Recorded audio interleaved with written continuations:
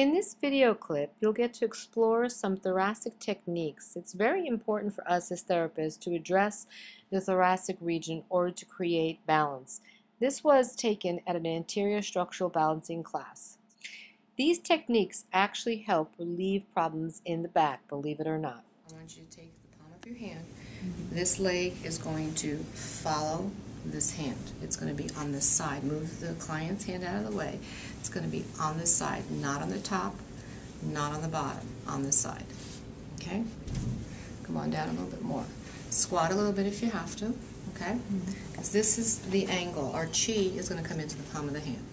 The other one is going to sit and relax just on the pec right now.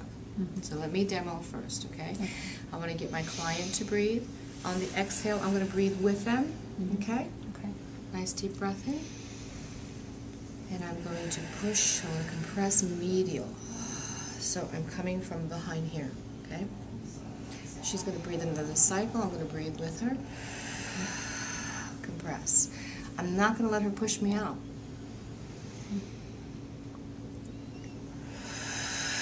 And each time they let me go in, I follow it in. Now, fourth inhalation, I let her push me off.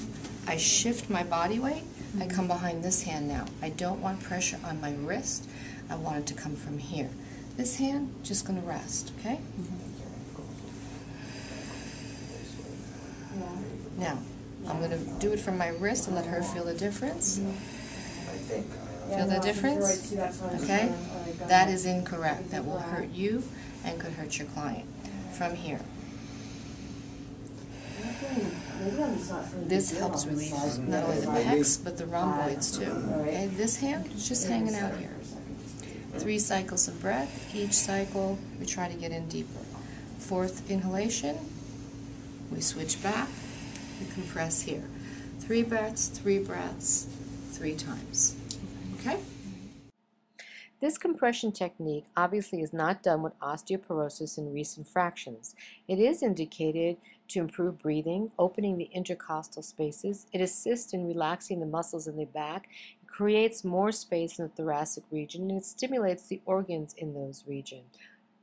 A few cautions, always compress on the exhale, never push beyond a barrier, work with the body, and please watch your body mechanics the full palm of your hand and make sure it's on the side of his ribs. You're not going to do anything yet. Just put it there, place it there.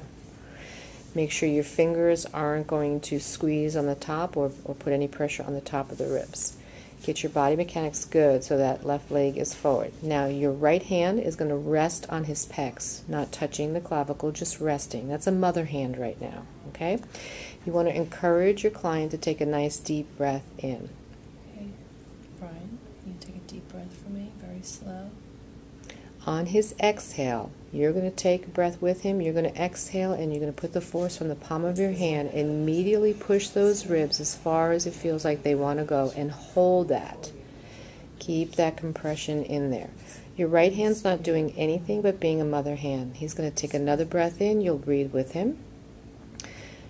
Hold that compression, don't come out, and push in again medially a little further if the body allows you to go in hold that. Okay, use your body weight to hold that.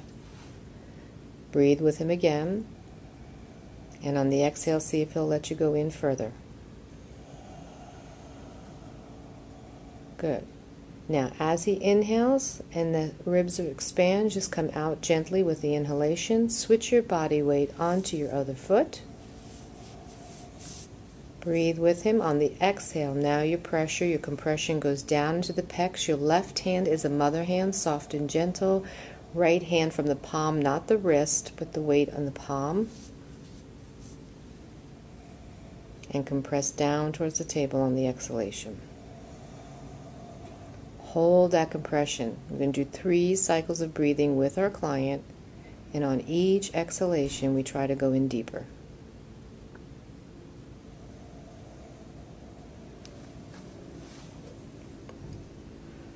Make sure the weight is in the center of your palm and not at your wrist. On the fourth inhalation, you gently guide yourself out. Switch your weight onto the other leg again. Breathe with your client And on the exhale, medially compress and hold. This gets repeated for three cycles. You're trying to free up those intercostal spaces, release fascial tissue, stimulate the organs behind the ribs. Make sure you're breathing with your client. On the fourth inhalation, you'll come out slowly, alternate and switch your body weight, and do the pecs. And we do this for three cycles alternating. This helps free up the rib cages, helps people breathe better, helps relieve tension in the rhomboids and the serratus anterior.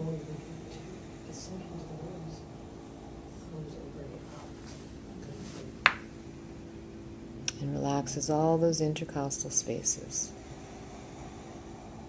Holding that compression down, sinking in deeper.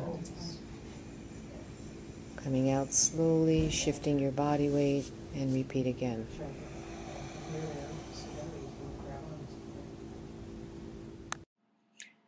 After applying these compression techniques, it makes it much easier to go into the pectoralis and intercostal region with some gliding techniques by changing the angle of your thumbs.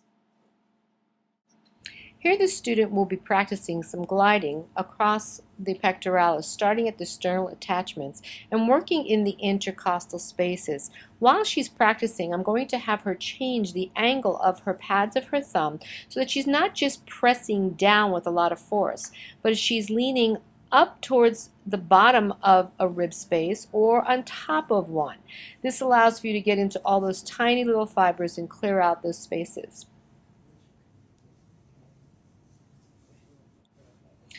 As the tissue begins to open, it will receive you deeper without an intense painful feeling. The feedback from this client was it felt very good, very deep, but not painful. We always finish our deep tissue work with some light lymphatic strokes towards the axillary region. To learn more about clearing out the anterior region of the body from the cervical, thoracic, and abdominal region, please check my website, massageproce.com. Myself and Elon Schachter both offer these classes around the United States. Thank you for joining us today.